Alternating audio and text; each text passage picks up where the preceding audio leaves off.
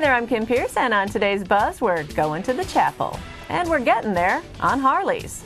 Because this wedding was celebrated as part of Harley Davidson's 105th anniversary bash.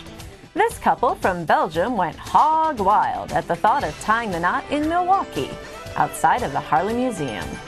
Gert van Goosignem and his bride, Annick Koosment, met two years ago at a hog meeting in Antwerp.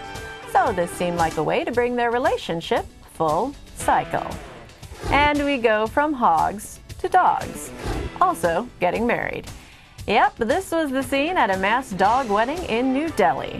Over 100 dogs took part in this Poocher Perfect event. Though some seemed to have second thoughts, others were panting with anticipation to tie the knot. Both the brides and the grooms were given away by their owners, and the ceremonies themselves were conducted by a priest who seemed to know his dogma well. And that's your buzz for the day. I'm Kim Pirc for NBC Mobile in New York.